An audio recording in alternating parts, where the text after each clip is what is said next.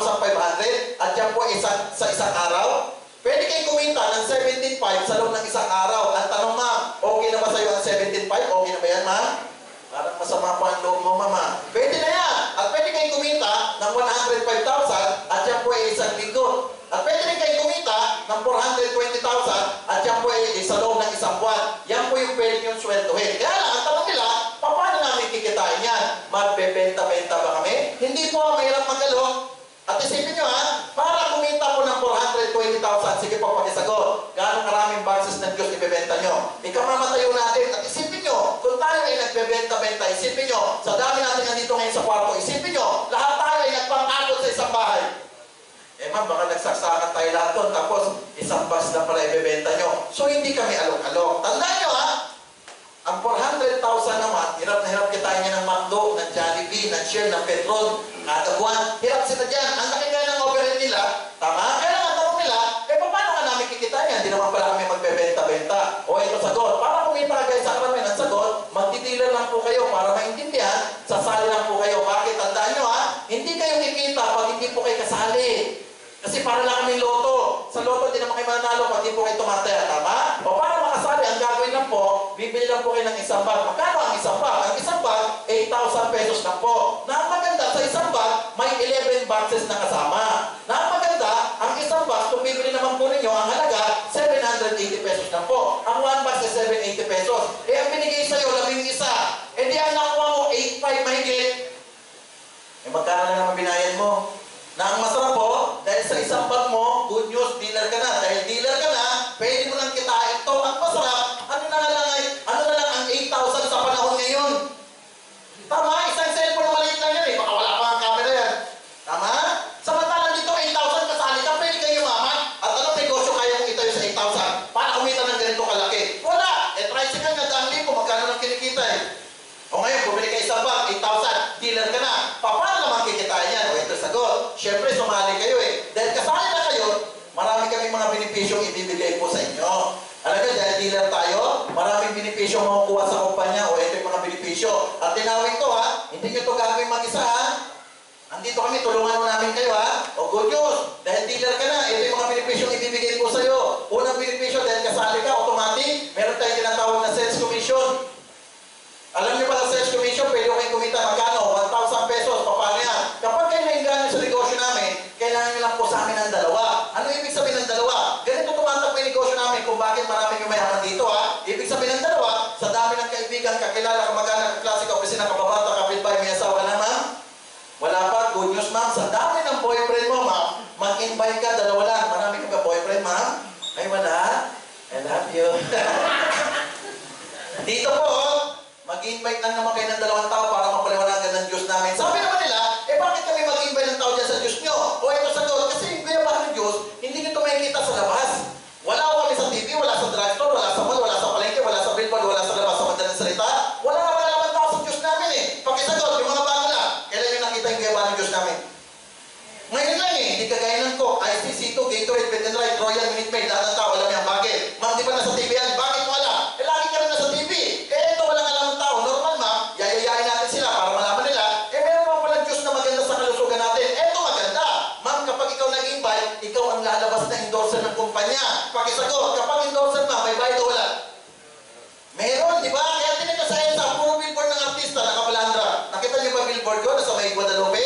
Nakabaliktad yun.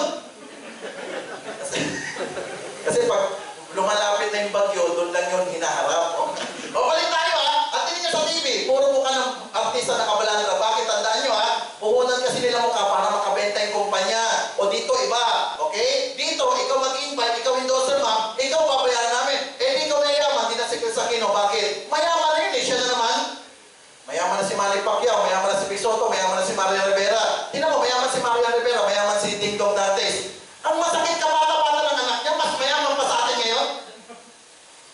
ngayon pinapanganak, tao na tayo. Hindi man lang tayo kinuha ng endorser. O subukan mo ma'am, kunin kayo endorser. Kung kinuha ka endorser, pampers, isuot nyo ma'am. Sige po. Tapos lumabas tayo sa TV ma'am, suot yung diaper. Ano kaya mangyari ma'am? Alam niyo, nag-endorse ako dati ng pampers, sinuot ko. Lumabas ako sa TV. Alam niyo, pa ako pala nakikita sir, nag-proud out na. O, ngayon, lugi sila. Hindi ah! Ang masakit, lagi na lang sila.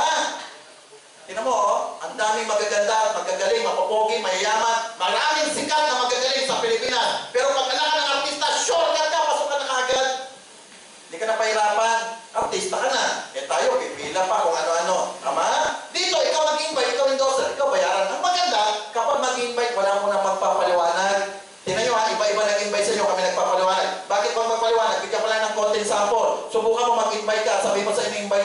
Kikita siya ng 420,000 kada buwan. Sigurado, sasaksakin ka ng ini-invite mo.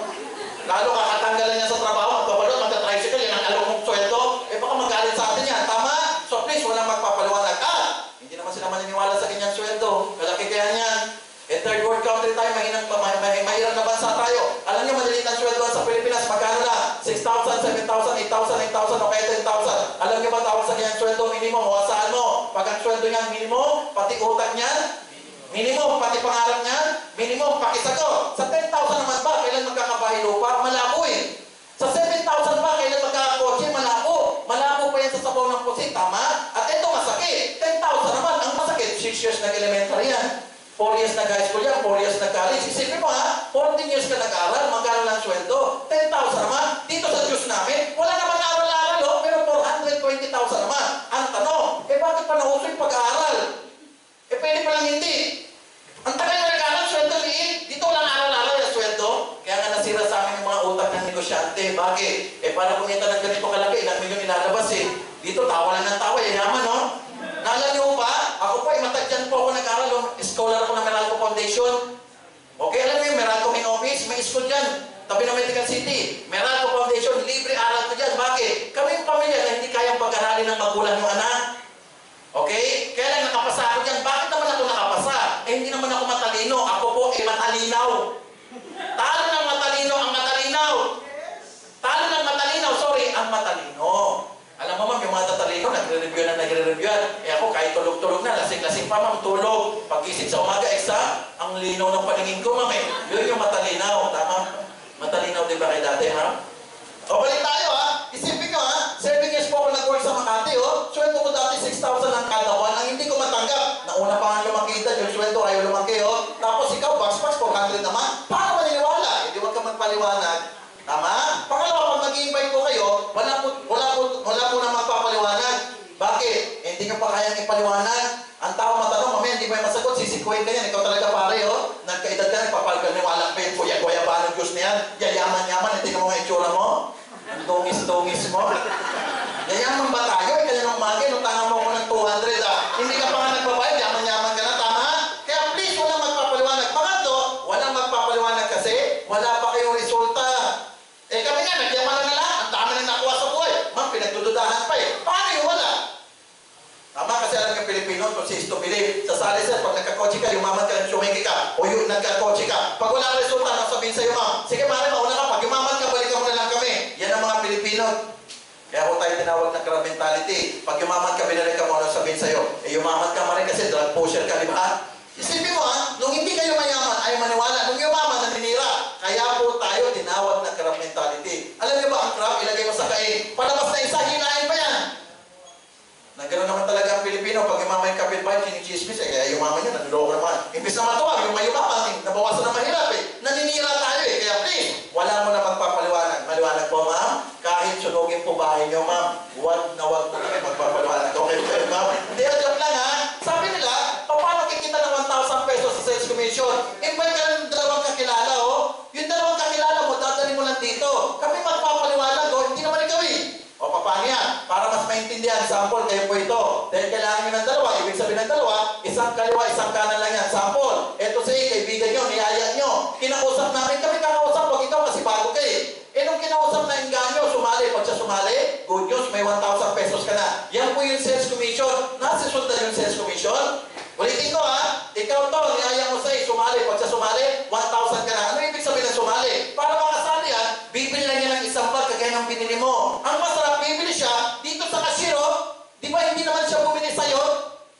So hindi ka nagbenta, pero good pagbili niya, may 1,000 ka. Maliwanag ko ba? Sabi nila, eh ba't kami kumita, bumili na naman kaibigan namin. Eto sagot, ma'am, hindi niya malalaman na mayroong guyabahan ng Diyos kung hindi mo niyaya eh. Nung nalaman niya, bumili siya isang pag, nagbayad sa kumpanya, kumita yung kumpanya, kumita dahil sa'yo, kaya meron kang 1,000 na komisyon. Bakit ka ng komisyon? Para sure ka, yung isang pag na binili niya, para makasali siya, para yumaman siya, yung po kasi ibenta mo na. Pakisagot ha, kung meron akong lupa, pinabenta ko sa iyo ma'am, nabenta mo, nabibigay ko sa iyo ma'am. Komisyon, yung binili niya isang bag, benta mo, kaya ka may komisyon. Pero ulitin ko, saan siya bumili? Sa cashier. Hindi naman siya bumili sa iyo ha. May bag ka ba? Inubos mo na yung bag mo eh. Bumili siya sa cashier. Pero pag bili niya, 1,000 ka. Maliwanag? Halimbawa, ito naman si B. Si B, kapatid mo naman, sumali, bumili isang bag. 1,000 pesos ka naman. Yan yung tinatawag namin na sales commission. Tandaan nyo, isang tao na bibili isang bag, may 1,000 po tayo. Paano kung sampu? Paano kung dalawampu? Ang masarap din naman ikaw magkukumbinsi kami. At ano lang ang 8,000 na binayaran niya? Magkakabahay siya, magkakakotse siya, magkakatseki siya, yayaman siya. What is 8,000? Eh bumibili nga tayo ng kamamahal na cellphone, 30, 40,000, kung ano nang tatak ko. Nakala text tawag, gastos. Tama, sir? Tanda pag nag- ginagamit ko, idadolong riding and tandem, hinapon mo, papatayin ka nga eh. Tama, sir? Oo. Dito 8,000, ikaw pala langlat, dito mo naman babayaran, may resibo naman. Anong dahilan na matakot ka? Maliwanag? O ito yung maganda. Alam mo yung pangalawang benepisyo? Meron kami tinatawag na sales match. Alam niyo ba sa sales match, kikita mo kayo dagdag, magkano? 1,250. Paano yan? Sabi ng kumpanya, pag yung kalawa mo may kapares sa kanan, sa A nagpares kay B, may 1,250 ka pa makukuha, idadagdag pa sa'yo. Maliwanag ko ba? Linawin ko to ha. Iba po yung 1,000, iba yung 1,250. Yung 1,250, isang tao sa kaliwa, isang tao sa kanan, isang pares, 1,250 ka. At eto masarap, may application form. Alam niyo ba sa application form? Merong kaliwa, merong kanan. Kaya hindi kayo malilito mag-fill up. Sample, sumali kapatid mo, nalagay mo sa kaliwa.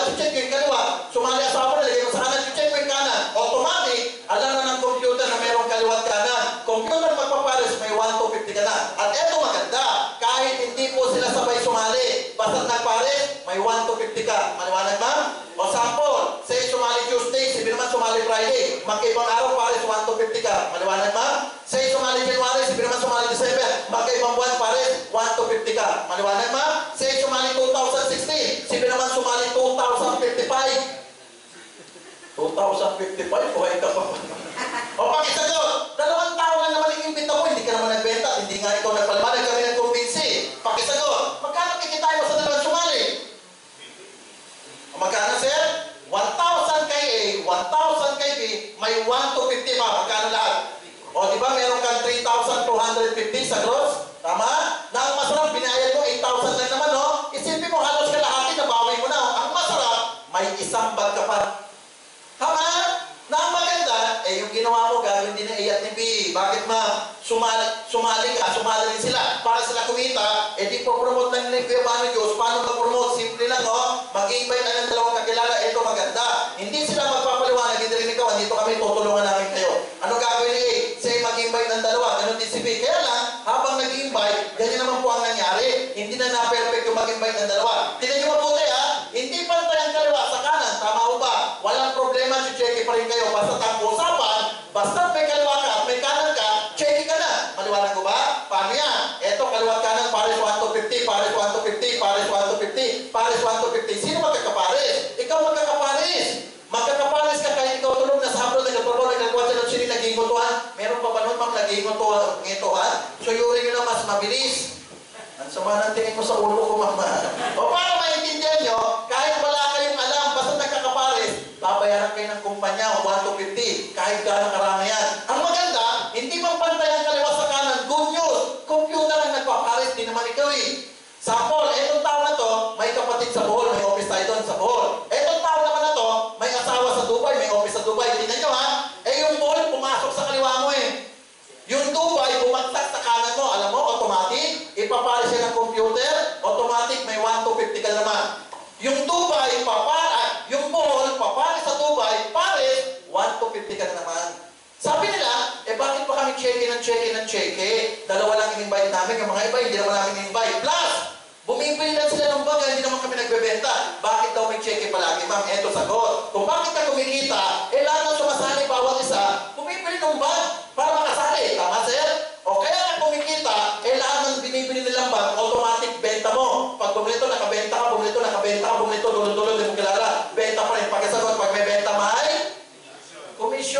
Ma'am, pag nagbenta ng insurance, may komisyon. Bentang kotse, may komisyon. Bentang bahay lupa, may komisyon. Benta ng kung ano-ano, may komisyon. Dito, yung binibili nila, benta mo, kaya ka may komisyon. Kaya lang, ito yung tanong nila.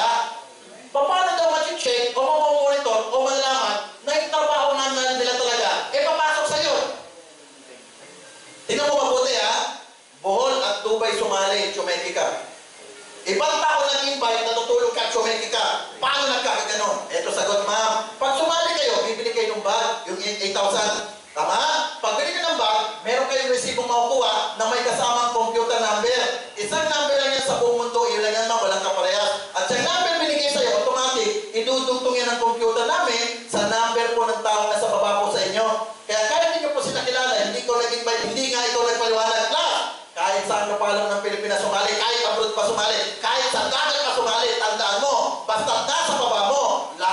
Trabaho nila automatic, iaagad po yan ng computer sa'yo. Lahat daw ng trabaho nila papasok sa'yo. Bakit? Kasi ma'am, yung number mo, nakapatong, patong, patong, patong sa number nilang lahat. Maliwanag ko ba yun? O kaya pala kayo kumikita kasi number nyo, nakapatong, patong, patong, patong sa number nilang lahat. Maliwanag yun, ma'am? Naintindihan nyo yun, ma'am? Naintindihan nyo? Kung talagang naintindihan mo, ma'am, tanungin kita, ha? Ikaw ba, ma'am, papayag ka ako? Nakapatong sa inyo? Kala ko ba man naintindihan nyo bakit ayaw nyo magpapatong? Bakit bang ano ba ang gusto nyo? Yung ikaw ang nakapatong, ganon? Rigobert, iba na naman ang tawa. Yung tawa mo may halong kalaswan. Yan po kasi kalalaya lang. Eh, kaya natin yan sa Rigobert, nagkababait ka. Okay? Natok, nakatok ko yan, nakatok, natokan. No, chito kailan? Two days ago. Uh, pinalabas, walang ebidensya. Oh, Rigobert, thank you ha. O kaya ka kumikita, lahat ng trabaho nila pumapasok sa'yo. Kasi nga magkakakunik ka number. Paano na ikukunik? Ma'am, meron pong application form. Sa application form, nakalagay doon, sino nag-invite sa'yo, yun ang isusulat mo. Pangalan at number niya. Kaya malalaman ng computer na magkakadugtong kayo. Plus, nagre-request tayo ng hard copy. Ito po. Kasi normally, nasa computer po eh. Okay? O meron tayong inire-request na hard copy. Ito siya. oh. O magkakaroon tayo ng record. Ito po, ang tawag sa record na to, genealogy, ito siya. Itong genealogy na to, makikita nyo to, uh, pwede kayo magpa-print nito, ila ilalabas na ko nila to. Nire-request namin sa IT. Kasi madalas, nasa computer, di ba, Sir Chito? Ngayon, ito po, eh makikita nyo na, ano, ano tawag dito? Pag nag-request kayo. O, real time, makikita nyo ito. Dito nyo makikita lahat ng sumasali sa baba nyo na hindi nyo na alam. Dito nyo makikita yung mga mainang mag-invite, malakas mag-invite, tsaka yung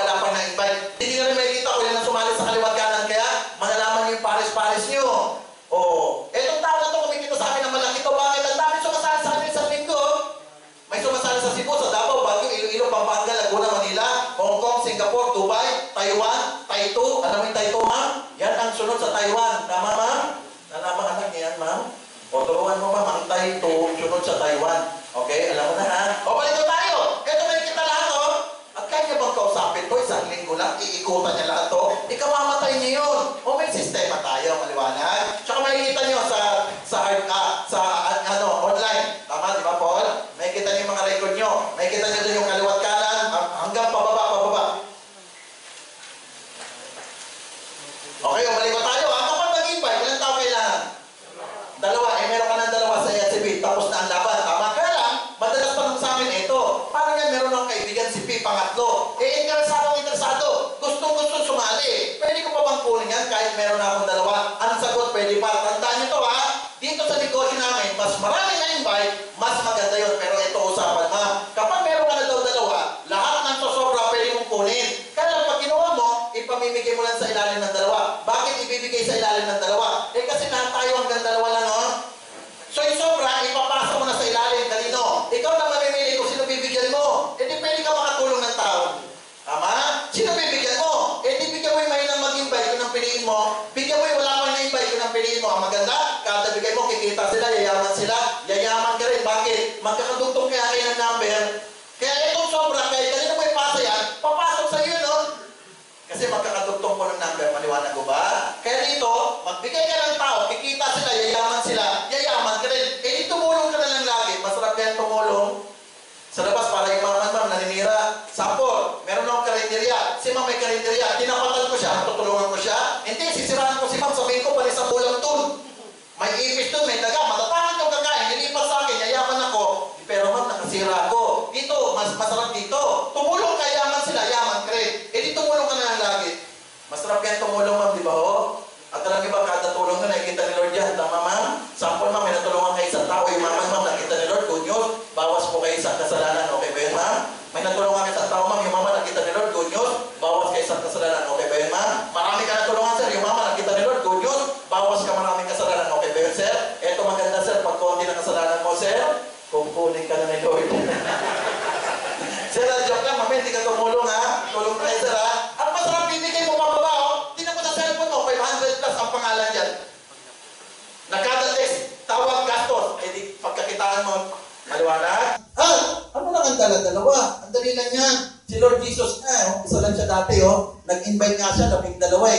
na siya ngayon, ma'am? O, isang bilyon na mahigit. Nag-umpisa siya, labing dalawa, mas mahirap yun. Ito, mas masarap pag-umpisa, dalawa lang. At yung dalawa na yan, dadami yan. Hindi mo yan mapipigilan. Alam niyo ba yung dalawa, kung ang tagalawa, magiging apat. 8, 16, 32, 64, 128, 56, 500 plus, magiging libo. At sa dami ng tao nun, malaki kikitain mo. Alam niyo ba na 1 to 50 lang to kasi isa? Pakisagot ma'am, paano kung 10 1 to 50, magkano po? 12.5. Paano kung isang tao 1 to 50, magkano? 125,000 sir, tama. Paano kung isang libo? E di 1.2, kaya may nagmimilyon. Yung unang kong kumpanya, first quadrant, 2 million na higit doon, ang sweldo namin. Okay, nung nagsara yun, nagbukas 5 plus, o Diyos naman, 1.5 million kami mahigit doon. Okay? Dahil lang sa dami ng pares. Maliwanag? Na ang maganda, ibibigay mo lang yung sobra. O ito maganda, pangatlo. Good news ha, pag dealer ka, less 40% ka. At ito mangyari lifetime habang buhay. Linawin ko ha, ang pagbili ng isang bag, isang beses lang, walang ulit. Pag kasali ka lang, lagi ka nang kasali. Hindi ka kasali araw-araw, buwan-buwan, taon-taon. Walang ganun. Diba, iba may mga renewal. Dito, dire-diretso. Maliwanag? Na maganda, kada bili mo, 40%. Alam niyo ba, alam niyo ba, ang isang box 780, less 40%, kaya bibili mo na ang 1 box na magiging 468 pesos na lang yan. Tingnan mo naman, yung 780 naging mura o naging mura, habang buhay pa. Bakit habang buhay? Eh, habang buhay discount mo. Ang masarap, isang beses lang bibili ng bag, eh, cellphone mo na wala, bili ka ulit, wala naman discount eh. Nasira, bili ka ulit, walang discount. Sa amin, 40% na, ang laki na, habang buhay pa. Maliwanag? At ang masarap, ito yung pang-apat, meron kami tinatawag na 15 level na rebates. Ito po sa repeat order na lang po ito. Kasi yung product iniinom na ubos, consumable. Sample, naubusan ng product si Vic, uulit bumili. Bakit uulit? Kasi tanda mo, less 40%. Tama ho ba? Kaya siya bibili mura. Ito masarap. Ano masarap? Kada bili niya, may kikitain ka na 1% sa binibili niya. Maliwanag? Kada bili niya, may 1% ka. Bilang ko, sino sa inyo may 1%? Wala. Bili ka sito, wala na kita. Di ba talo tayo lahat? Tama? O ito maganda, si B, niyaya si C, C, 1% ka pa ulit. Si C, niyaya si D, D, 1% ka ulit. Hanggang 15 level. Ito masarap. Mamimili ang mga tao na yan. Bakit mamimili palagi? Eh, laki ng discount, less 40, oh. Ito pa nga, 5% nagkakatulo tayo eh. Ito pa, less 40. At maraming product. Bibili mo, less 40 oh. At nadami pa product. Abangan nyo. Ikaw ha? Babalik tayo ha? Ang pinakamalaking pasweldo is 420,000 naman. Tama ho ba? Okay? Yun na lang po yung pinakamalaki. Hindi na po yung lalaki. Kahit magaling ka, masipag ka, marami kang kakilala, hanggang 420,000 lang po. Naliwanag ko ba? O, balik ko tayo ha? Linawin ko ha, 420,000 lang ang pinakamalaking pasweldo. Hindi na yung lalaki ha. Kahit magaling ka, masipag ka, marami kang kakilala, hanggang ganyan lang. Kaya lang, bakit may mga nagmimilyon? Marami kasi kumikita ng milyon eh. Alam niyo kung bakit? Marami sa amin sumasali ng pito-pito. Marami po sa amin nagsi 7 leaders. Marami ganyan kahit saan kumpanya. Pwede ka sumali 1, 2, 3, 4, 5, 6, 7. Ang masarap yung pito na yan, pangalan mo lahat. Na ang masarap, pag sumali ka ng pito, ang kagandaan niyan, good news, pitong 420,000 kada buwan ang kikitain mo. Kaya, lalaki ang sweldo niyo magiging 2.9 million kada buwan. Ang masarap, parehas lang ang trabaho ng marami sa trabaho ko ng isa. Pero ito maganda. Iba ang kita ng isa sa kita ng pito. Kaya maraming nagpipito-pito. Kasi pag isa sinali mo, 420, pag sumali ka ng pito, 2.9 million mahigit. Ang masarap, parehas ang pagod. At good news yung pito na yan, pangalan mo lahat ha. Ikaw, ikaw, ikaw, ikaw, ikaw, ikaw, ikaw. Pito. Ang kita, ganun kalaki. Na ang maganda, parehas na ang pagod para makita nyo. Si Juan para kumita, kailangan kaliwat kanan, meron kasi 2 and 3. Eh, ikaw din yun eh. Si 4 and 5. Ikaw rin yun. Si 3 para kumita kailangan kaliwat kanan, meron na si 6 and 7. Ikaw rin yun. Yan tatlo na yan. Lagi na magkaka-check yan. Ano nang gagawin mo? Si 4 bigyan mo dalawa, si 5 dalawa, si 6 dalawa, 7 dalawa. Eh, hindi ka lang ibibigay, no? Walong tao lang yan, walo. Pag yan walo na yan gumalaw, good news, yan ang po'y magiging pito ang check nyo. Kaya, maraming kumikita ng milyon sa ganitong trabaho. Kahit anong kumpanya, maraming nagpipilyon kasi lagi nagpipito-pito. Ako po lagi ako nagpipito eh. Bakit? Eh, trabaho na, na trabaho daw na marami sa isa, parehas lang eh. Pero, iba kaya ang kita ng pito, 1, 2, 3, 4, 5, 6, 7, ma'am, ikaw. Si 7 para kumita, di ba? Kailangan ng kaliwa at kanan, bigyan mong kaliwa, bigyan mong kanan, kada bigay mo papares. Kada pares, check 7, check sa 3, check sa 1. Bakit yung may check lahat? Naalala mo kanina? Magkakadugtong kasi number. Then magkakadugtong number nila, isang bigay mo, tuhog na sila lahat. Eh, ang masarap ikaw lahat yun eh. Pero tingnan mo, isa na naman grupo binigyan mo, lahat to tutuhugin, no? Nang masarap lang yan, pag sumali ka ng pito, ito maganda. Bibili ka lang ng pitong 8,000. Ang pitong 8,000, 56,000 lang po yan. Yan lang yung puhunan para kitain yung 2.9 million. Actually, di puhunan yan, bumili ka lang, oh. Jollibee, aircon lang yan, wala pang building. Tama? O, pakisagot.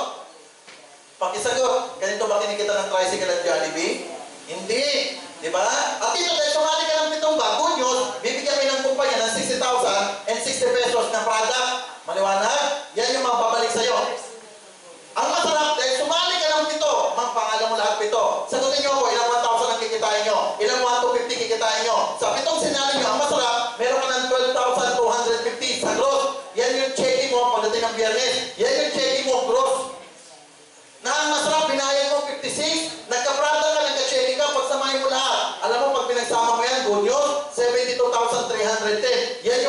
kapalit ng 56,000 mo. Binayad mo 56, bumalik 72.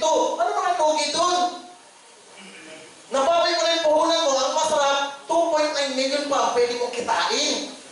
Kaya ang dami nagpipito-pito. Kaya kami pinapaliwanag yan kasi marami kami kausap na negosyante, yan ang laging tanong, ROI, return of investment. Pag ako nagtayo ng Jollibee, kailan ko mababawi puhunan? Yun yung ROI. Sa amin po, nagbayad ka ng 56, bumalik 72, ano lugi? Tama? Tapos ang masarap, ang laki pa ng kikitain, no? Na ang pinakamaganda sa negosyo namin, ito yung nagustuhan ko, ito yung wala sa iba eh. Alam ka maganda sa negosyo namin, ito, good news, oh. Ano yun? Sa negosyo namin ginagawa, good news, wala kaming kota-kota, walang pahirap, walang maintenance, walang pressure, walang napuling. Sa ibang kumpanya, bago kumita, bili mo na, benta mo na, invite mo na, pag di mo nagawa yung kota, patay ka, check mo, hindi bibigay. Sa amin walang kota, dahil walang kota, paganda nyo na yung 8,000, kaya hindi ko bahala, bakit? Wala namang pilitan dahil walang kota. Kaya kung kayo nainggano sa negosyo namin, pwede kayo sumali ngayon, bukas, sa buwan, isang taon, limang taon, sampung taon, dalawampung taon, o kaya, bago ka mamatay, doon ka sumali, bakit? Wala namang kota, oh. Tsaka ang tibay mo naman, kinamatay mo pa to, kanina pa nga ako sigaw-sigaw dito, hindi ka pa pala interesado. Oh. Eto malupit, may mga tao gusto sumali, hindi naman kaya 8,000, walang problema, para gumaan, ano, hanap ka ng kahati, pwede yun ma'am. Hati kayo sa bayan, dati sa Prada, hati sa trabaho, hati rin sa sweldo. Pag kumita, hindi hati kayo. Pag hindi mo kaya sa dalawa,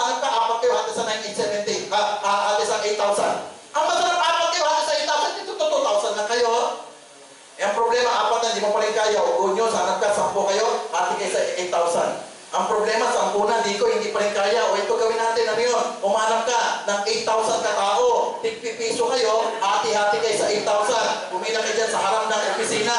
Kala may EDSA po sa Ortigas. Ito pa, malupit, ano malupit? Piso na lang binigay, nagwawala-wala pa. Bakit? Eh, pala yung tanong niya, kanino daw ipapangalan yung cheque? Tusukin kong ilong mo. Piso na lang, gusto mo na sa'yo pa. Eh, mahal mo yung papel sa cheque mo, sa, sa, sa, sa. Tama? Ang malupit, ito tanong ng tanong, sino magbubuhat ng bag amin? Ang dami nyo. Gusto nyo pabuhat yung kay Rigoberto? Walang problema. Tama? At tinawin ko, ah, pag tayo mag-i-invite, huwag yung sabihin may bayad.